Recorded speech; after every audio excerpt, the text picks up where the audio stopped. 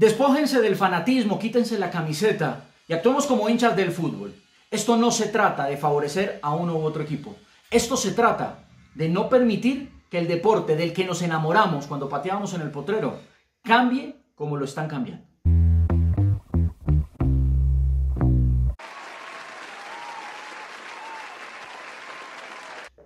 Antes la invitación que siempre les quiero hacer, Juan Felipe Cadavid, el periodista, necesita también como todos ustedes una aplicación para estar eh, absolutamente eh, al día con las noticias. Y no hay una mejor que OneFootball. Aquí la tengo, yo la tengo en mi celular, la tengo también en mi tablet.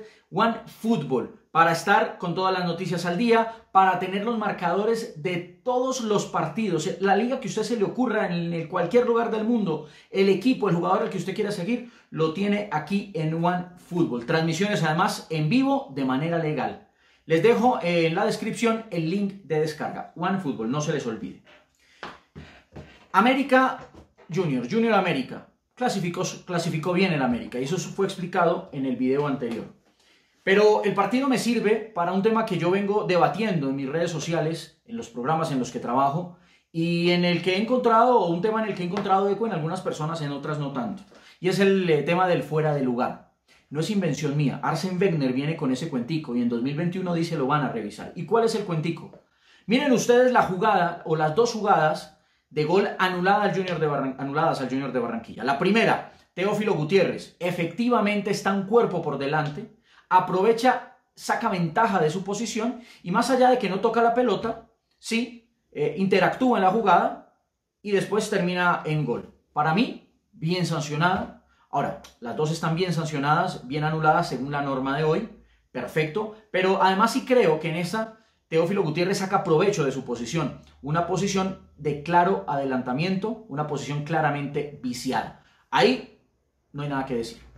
Pero vamos a la segunda, donde la norma de hoy cobija y dice que está en fuera de lugar. Sí. Ahora, ¿qué es el fuera de lugar? ¿O para qué se inventó el fuera de lugar? Para no sacar provecho, de, eh, eh, no sacar ventaja de las posiciones para que los palomeros no se quedaran por allá arriba esperando que les tiraran la pelota. Pero les pregunto, ¿qué ventaja hay en un centímetro y medio cuando los dos jugadores van hacia el mismo, están perfilados hacia la misma zona, van hacia adelante, parten al mismo tiempo, entienden la jugada. Un centímetro y medio es calzar un poquito más que el rival, tener la rodilla un poquito más adelante que el rival, estar más inclinado que el rival. ¿Qué ventaja existe allí? Es imposible que un futbolista, que un delantero, que un atacante esté pendiente casi que con regla tomando y decir, no, ahora sí corro porque lo tengo aquí, porque ya no estoy ni un centímetro ni un centímetro y medio adelantado.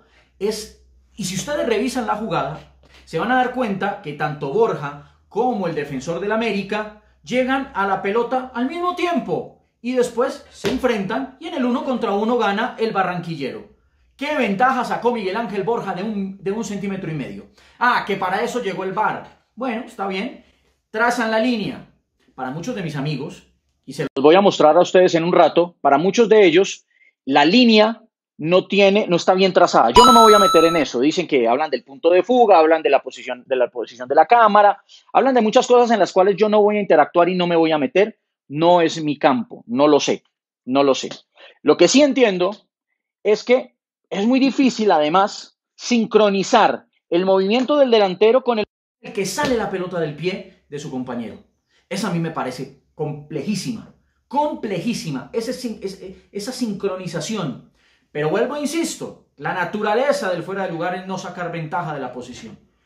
¿Qué ventaja sacaron o sacó de la posición Miguel Ángel Borja? Un centímetro y medio, uno y medio, uno y medio.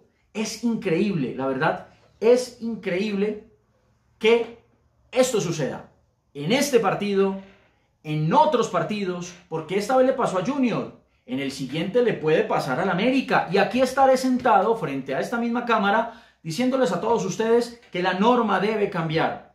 Pasa en Colombia, pasa en Europa, pasa en Asia, pasa en las ligas, pasa en los mundiales, pasa en todo lado. No, ese no fue el deporte que nosotros conocimos, lo siento. Bienvenida a la tecnología para algunas cosas, por ejemplo, una, una, buena expulsión o que alguien que se iba a ir expulsado no se vaya injustamente. Bienvenida a la tecnología para saber si la pelota sí entró o no entró.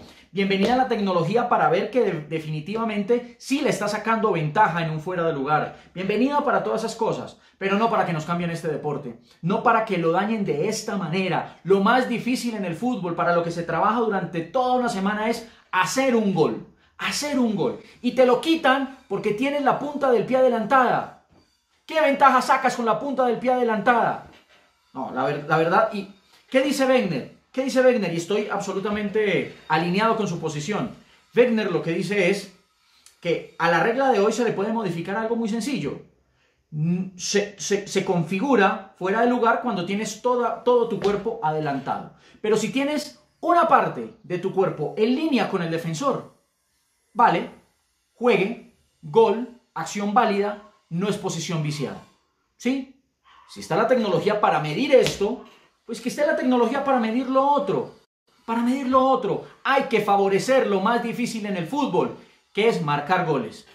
¿Qué piensan ustedes? Los leo. Ahí está la casilla, sin insultos, sin groserías. Lo bacano de este canal es que podemos debatir. No necesito y no quiero que todos estén de acuerdo conmigo. Sí necesito y quiero que tengan, que sean respetuosos. Porque estos son temas que se pueden tocar de, de una manera tranquila. Esto no se trata de camisetas. Esto no, no soy hincha del Junior, no odio la América. Esto se trata que se dio la posibilidad en este partido de tocar este tema. Pero les aseguro que si pasa el contrario o si le pasa a la América, aquí también estaré sentado para decir que es injusto que una jugada de gol por un centímetro y medio termine invalidada.